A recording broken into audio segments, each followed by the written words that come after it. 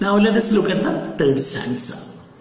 You are old, said the youth, and your jaws are too weak for anything tougher than suet. Yet you finished the goose with the bones and the beak. Pray, how did you manage to do it? Now the son is asking his father the third question.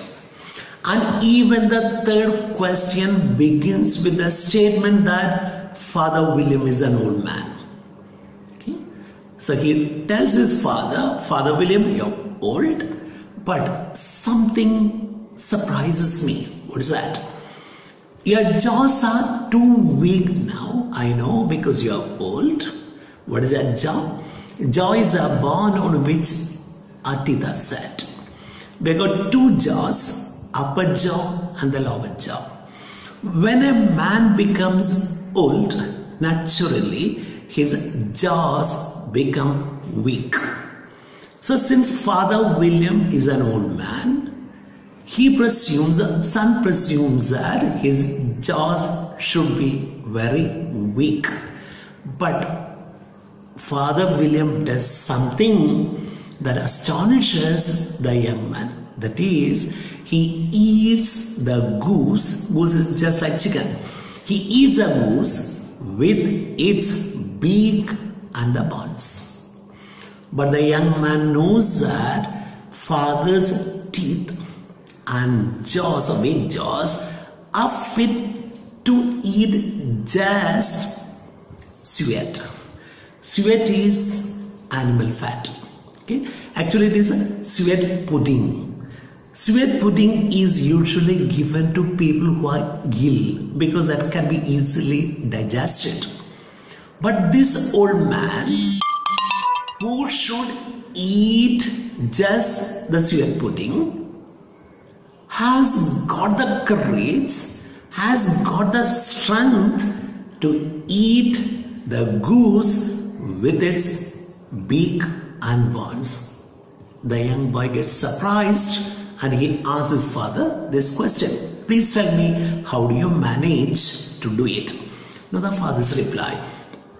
In my youth, said his father, I took to the law and argued each case with my wife and the muscular strength which it gave to my jaw has lasted the rest of my life.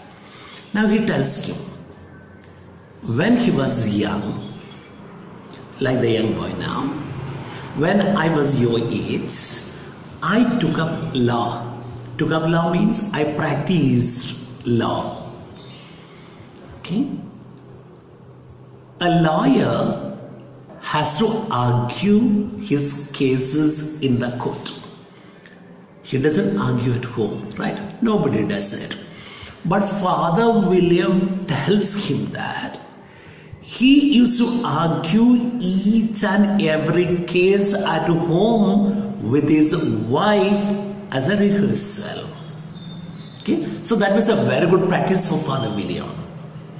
And he tells a young son, I used to argue each case with my wife at home, and that continuous argument, that continuous talking in which I indulged at home gave my jaws enormous strength, muscular strength, enormous, lot of strength. So because of that strength which I developed in those days by talking to my wife, today my jaws continue to be very strong and as a result I can eat not just with pudding, I can eat the goose with its bones and the beak. That's the secret of my energy. So the, the old man tells him, I argued each case with my wife and the muscular strength, enormous strength, the great strength, which it, it is here talking with my wife, okay, arguing with my wife, gave it to my jaw has lasted, has continued that strength which I got in those days has continued even, that continues even today. So my jaws, don't laugh at me by saying that my jaws are weak, my teeth are weak. My jaws continue to be strong because of my argument with my wife at home. Okay?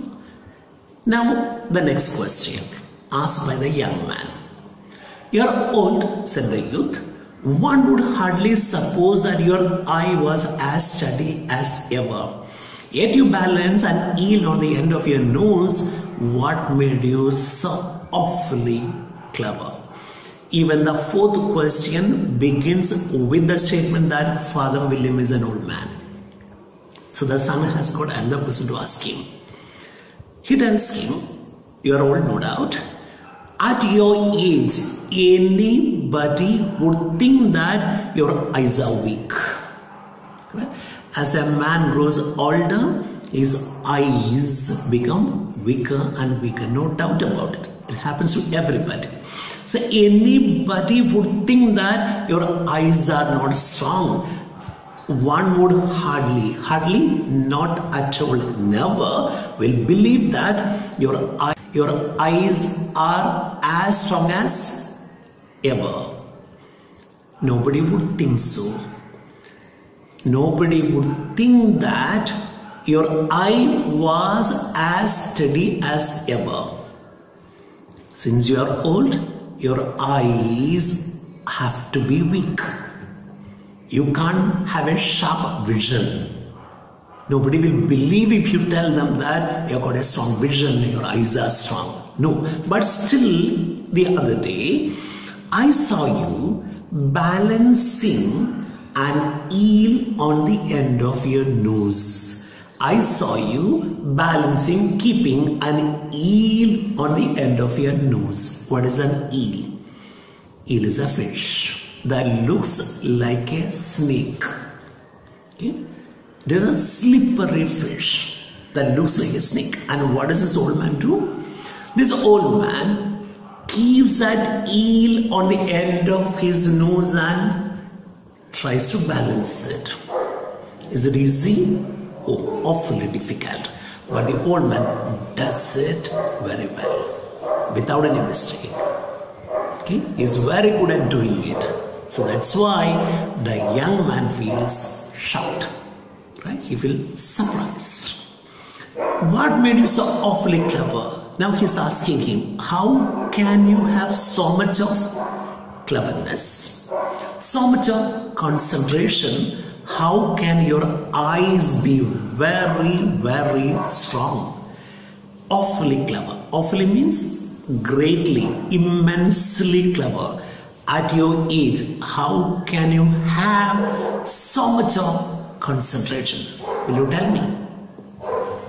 Now, father tells him, Look, I have answered three questions which you have asked me, and that's enough. Now, father refuses to answer the fourth question, not because he doesn't know the answer, but because he thinks that enough is enough. He thinks that he cannot go on answering all the questions asked by his son. Okay, next slide. I have answered three questions, that's enough. Said his father, don't give yourself airs. What does it mean? Don't give yourself airs means don't act over smart don't think that you are superior to everybody. Don't think that you are better than me. Oh no. When you ask me questions like this, I get a feeling that you are acting, you are trying to be over smart. Should never do it. So stop asking me any, any more questions. Enough of your questions. Don't give yourself yes, don't act great by asking me questions one after another do you think I can sit here all day to and and listen to such stuff? Stuff here, subject. It means the questions asked by the son. So he's asking him, Do you think that I don't have any other work now?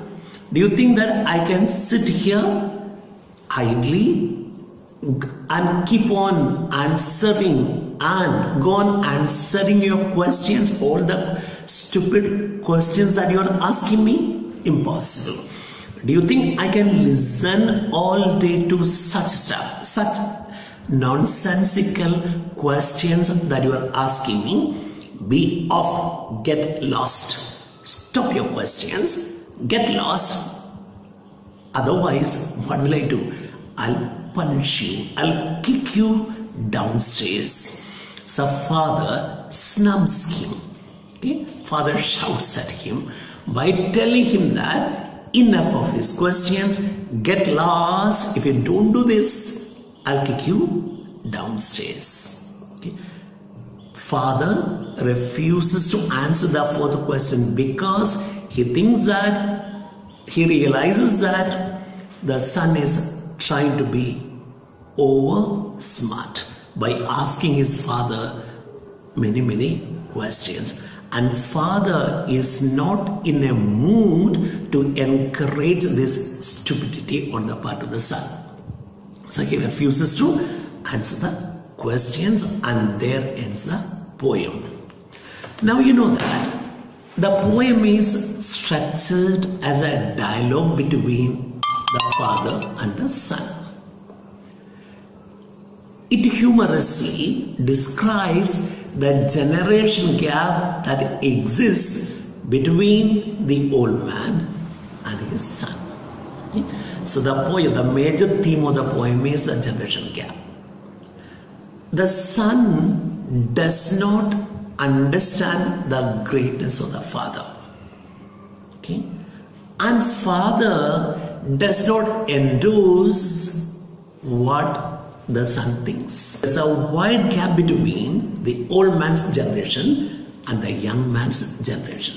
There's a gap, right? The son, who seems to be very pompous, very haughty, very arrogant, very proud of himself, tries to irritate his father by telling him every time that he's old. He's old. Look at his questions. He has four questions, and every question begins with the statement that Father William, you're old. So the son is deliberately trying to insult his father by telling him that he's old. But father doesn't get angry. He doesn't lose his cool. And what does he do? He makes the son understand or realize that age is just a number. Okay? Age does not matter at all. How does he show that?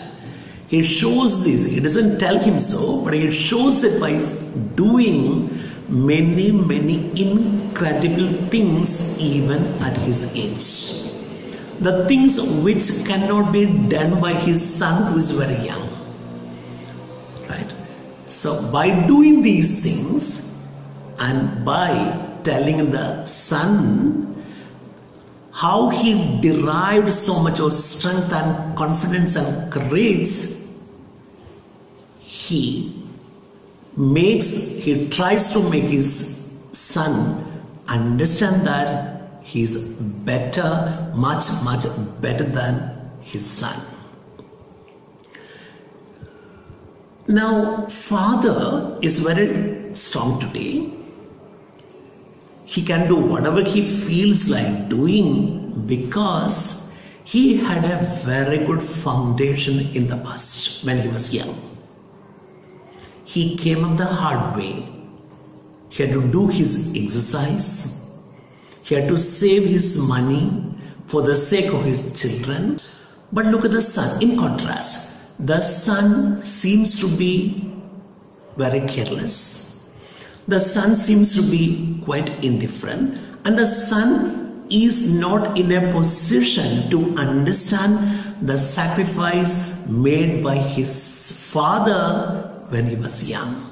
That's the reason why he tries to tease him by telling him every time that, Father, you're old. Father, you're old.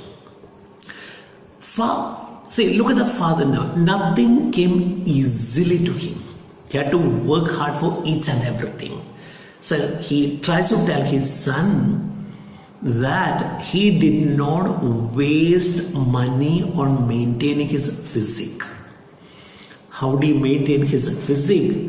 By doing regular exercises and using homemade remedies or cheap ointment or cheap oil. He never went to a gym to maintain his uh, body, never, as youngsters do nowadays.